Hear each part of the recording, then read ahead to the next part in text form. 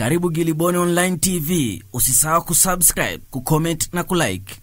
John Magufuli ambapo amejadili masuala mbalimbali ya kiuchumi pamoja na kuimarisha ushirikiano baina ya Tanzania na Rwanda ikiwemo ujenzi wa reli ya kisasa standard gauge itakayounganisha nchi hizo na kurahisisha usafirishaji.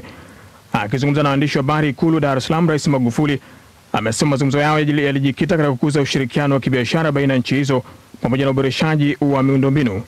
Rais Magufuli amewataka viongozi wa Tanzania na Rwanda kuhakikisha wanaweka mikakati haraka ili kuhakikisha ujenzi wa reli hiyo unaanza kwa wakati na kuwasisitiza wananchi kutoa ushirikiano kwa serikali ili kufanikisha zoezi hilo kwa maendeleo yao.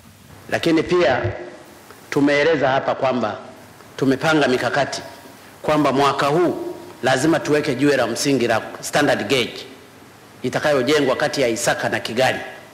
Hapo tutakuwa tumetengeneza mazingira makubwa ya kufanya biashara. Kwanza si biashara tu kati ya watu na watu, lakini pia tutatengeneza employment, kwa sababu katika ujenzi wa reli ile ya standard gauge kutoka Isaka kwenda Kigali, wapo Watanzania na Wanyarwanda watakaoajiriwa mle.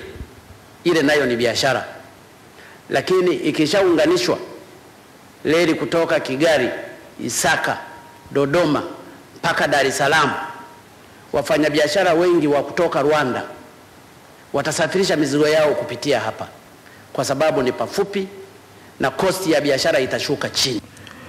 Kwa upande wake, Rais Kagame amesema atashirikiana vema na Rais Magufuli kuhakikisha wanafikia malengo yote waliojiwekea kuboresha uchumi wa nchi zao pamoja na Afrika kwa ujumla.